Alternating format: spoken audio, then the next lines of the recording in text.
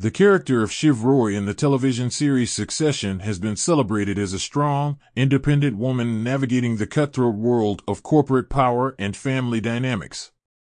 However, upon closer examination, it becomes apparent that Shiv's actions and attitudes reveal a disconnect from feminist values, ultimately reinforcing patriarchal structures. Like other privileged women who distance themselves from the feminist cause, Shiv's choices and perspectives inadvertently perpetuate inequality and hinder the progress of gender equality. 1. Superficial empowerment. Shiv Roy portrays a facade of empowerment through her professional success and assertive demeanor.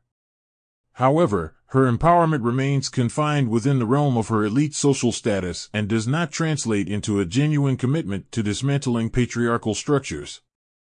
She leverages her privilege rather than challenging the systemic oppression that affects women from diverse backgrounds. Shiv's empowerment thus becomes a smokescreen that fails to address the core issues faced by less privileged women. 2. Lack of solidarity with the feminist movement. True feminism requires actively supporting and engaging with the broader feminist movement that fights for gender equality. However, Shiv Roy consistently distances herself from this collective struggle, often prioritizing her personal ambitions and family interests over feminist ideals. Her hesitance to align herself with feminist causes and reluctance to challenge her family's patriarchal dynamics demonstrate a lack of commitment to dismantling systemic oppression. 3. Reinforcing gender stereotypes. Shiv's actions and choices perpetuate harmful gender stereotypes, further entrenching patriarchy. She often utilizes her femininity strategically, exploiting societal expectations for personal gain or leveraging her sexuality as a means of manipulation. While individual agency is important, Shiv's use of gendered tactics undermines the broader feminist goal of challenging oppressive gender norms and striving for gender equality. 4. Complacency within elite circles. As a member of the wealthy and powerful Roy family, Shiv is comfortably ensconced within a circle of privilege and influence. Her interactions primarily occur within these elite circles, limiting her exposure to the struggles and perspectives of marginalized women. This disconnect from the experiences of ordinary women hampers Shiv's ability to fully understand and address the structural inequalities they face. Her failure to use her platform to advocate for the less privileged reinforces the existing power dynamics within society.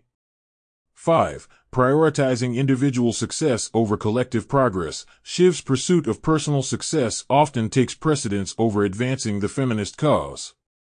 While personal ambition is not inherently anti-feminist, Shiv's prioritization of her own interests over collective progress perpetuates the notion that feminism is a self-serving endeavor rather than a collective movement striving for societal change. Her unwillingness to challenge the patriarchal power dynamics within her family and industry ultimately undermines the broader feminist struggle for gender equality. Despite her portrayal as a strong and empowered woman, Shiv Roy fails to embody the principles of true feminism. Her actions and attitudes reinforce patriarchal structures, much like other privileged women who distance themselves from the feminist fight. Shiv's superficial empowerment, lack of solidarity with the feminist movement, reinforcement of gender stereotypes, complacency within elite circles, and prioritization of individual success over collective progress all contribute to her inability to be a true feminist. To effect meaningful change, it is crucial to challenge and critique characters like Shiv who inadvertently perpetuate the very systems they should be fighting against.